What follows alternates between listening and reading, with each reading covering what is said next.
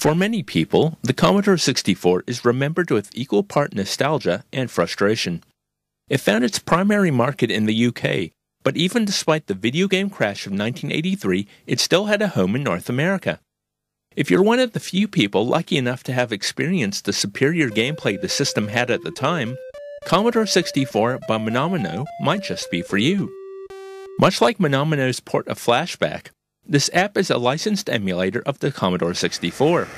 The menu system is easy to navigate, and there are plenty of classics available to play and download.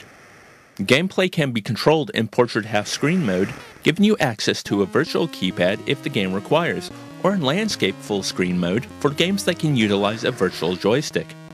It's a shame that the 8 way joystick is imprecise, as so many games require quick movements, and even worse than this, in full screen mode, you're liable to obscure much of the screen with your finger. Despite the control issues, the emulation by the C64 app is incredibly accurate.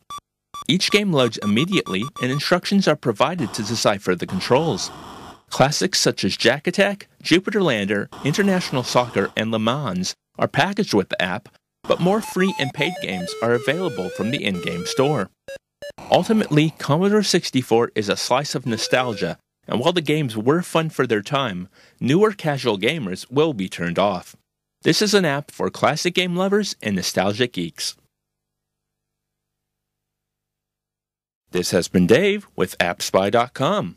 We review, you decide.